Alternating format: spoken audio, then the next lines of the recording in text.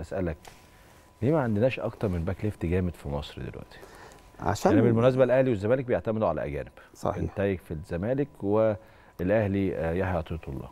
ده على سبيل المثال يعني آه، أبقى صريح معاك. عشان إحنا ما عندناش آه، اهتمام بالناشئين. ويمكن ده حصل وشفناه في المنتخب الأولمبي شفناه في منتخبات الناشئين وما زلنا بنشوف منتخبات الشباب إحنا ما عندناش اهتمام بقطاعات الناشئين مش عن يعني مش عارفين نفرز لعيبة يعني سيبك من الأندية أنا دايما مش هقول اللعيب هقيمه الصغير بالأندية أنا عايز أقيمه بالمنتخبات.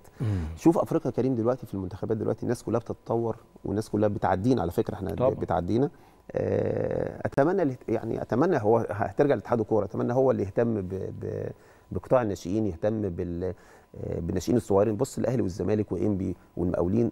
يعني عدد الناشئين اللي بيلعبوا في الدرجة الأولى قليلين جدا ودي يعني مش ميزة. صحيح. زمان كان اللعيب الصغير يعني يمكن أنا لعبت وأنا 16 سنة. مم. فدي آه، يعني ربنا يا رب يديه الصحه كابتن محمود أبو رجيلة كان هو المدير الفني في غزل المحلة. مم. لعبت من 16 سنة يا كريم فدي يعني آه، يعني قليلة جدا تلاقي لعيب صغير يلعب في الدوري. آه طبعا. صعب، صعب. فأنا شايف إن طول ما أنت بتهتم بقطاع الناشئين آه، إحنا عندنا لعيبة كويسة جدا لكن محتاجين اهتمام. صحيح.